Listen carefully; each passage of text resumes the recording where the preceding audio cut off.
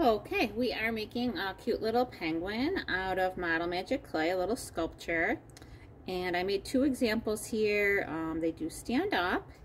And I used regular purple for this one. You can see how much lighter the purple color comes out. And I used a regular blue for this one. You can see how light the blue comes out. And I also made a little background. So um, there's a place for my penguins to um, be displayed as little uh, penguin sculptures. Okay, so um, I decided this time I'm going to use a um, raspberry red color and I am going to come up with a lighter color than the dark red. So I'm going to use a half a package of Model Magic Clay. So I usually cut the ends off and then just cut it right down the middle. And then the other half I have for someone else. So I'm going to open up my package and I'm going to break it up into about three even pieces. So maybe think about how you would build a snowman, okay, with three pieces. Okay, and then whichever one is looks kind of the smallest, okay, I'm going to say this one is, that one I'm going to put off to the side. And then my two other pieces are going to be for the body.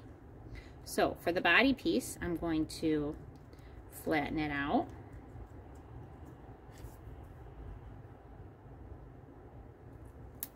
Color it. Fold it in like a taco. Okay, I'm going to do that again. Flatten it out.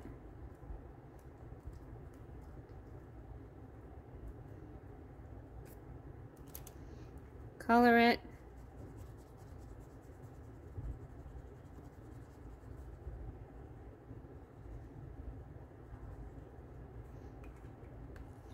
Fold it in like a taco. So I did try black um, and I didn't like it. It turned out very gray and I colored it so many times. Um, and I just think that the colors for the penguin are just so cute. So I'm going to call them Pastel Penguin Pals. And so our colors are going to come out nice and light. And we're not going to have black penguins that are black and white. We're going to have blue and white and purple and white and this one hopefully will turn out to be a nice pinkish color. So I colored it three times and then I folded it in and now I'm getting a nice light red pinkish color. So I'm just going to keep mixing it until I got a nice solid color.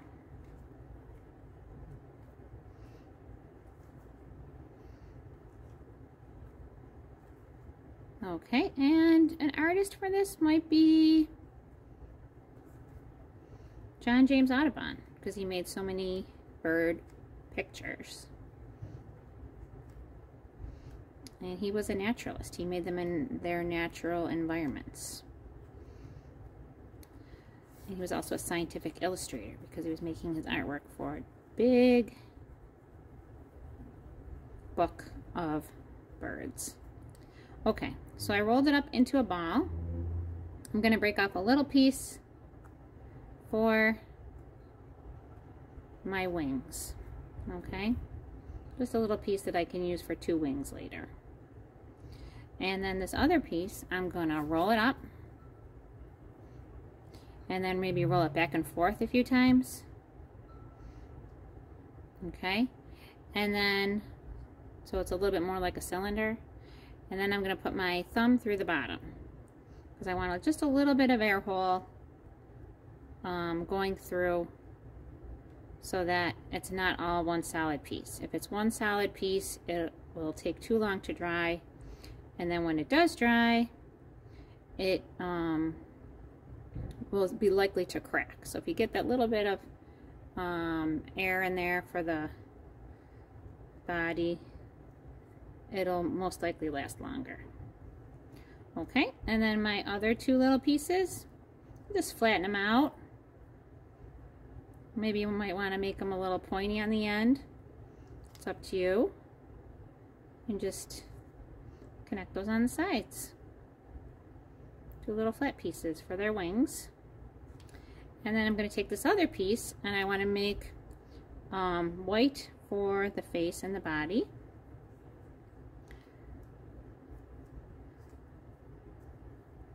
So this piece I'm going to roll up into a ball. Okay. And then I'm just going to roll back and forth. So again, it's more of a cylinder. And then I'm going to just flatten out that cylinder shape. Okay, so just flattening it out by pressing down on it. Okay, and then I want that to be about as tall as my penguin. Okay, mine was a little bit too tall, so I just pushed it down there on the end. Okay, so now I have a good spot for his um, face and his belly. Okay, so my other piece I'm going to need for um, feet and a beak. So this I'm going to color in orange. So first thing I want to do is flatten it out.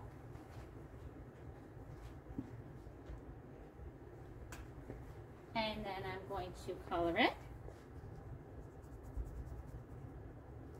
Fold it in. Okay, always folding that in so that I don't get the marker all over my hands. And I flatten it out so that I have more surface area to color in. That way I can get more orange into the clay.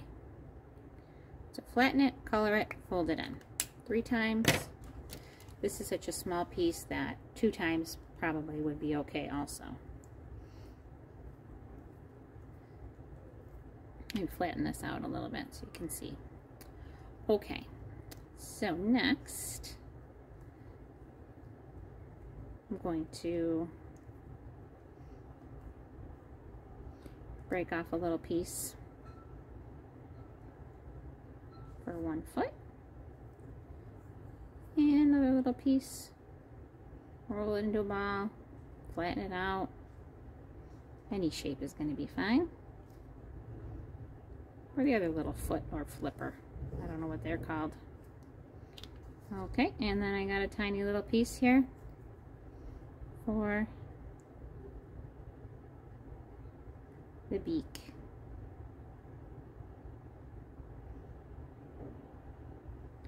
And then I'm just going to take a black marker and make a dot for the eyes. Dot, dot. And it's all cute. Whoops. so cute. All done. Now I have a little bit of extra clay. So I can use this to make uh, another baby penguin or maybe I want to make a little snow iceberg or a little bit of snow for my penguin to stand next to or maybe it's a little bit of a hat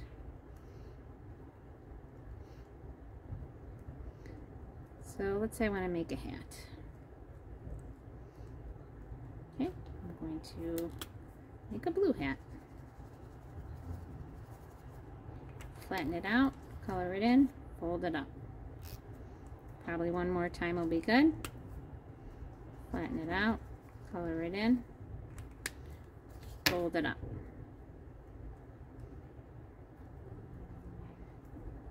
Now I'm mixing it up, get a nice pretty light blue color, or maybe it could be a cute little scarf. Any kind of fun details you might want to add to your penguin sculpture. Okay, so for a hat, let's say start with a ball. Okay, and then maybe just sort of flatten it out on one side.